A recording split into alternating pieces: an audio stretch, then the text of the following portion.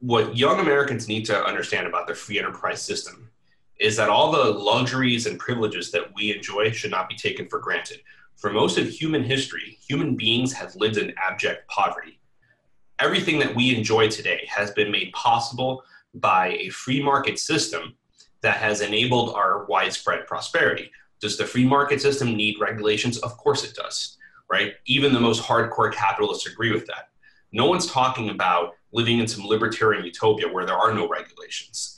But they, what young people need to understand is that the immense wealth and prosperity that they enjoy should not be taken for granted.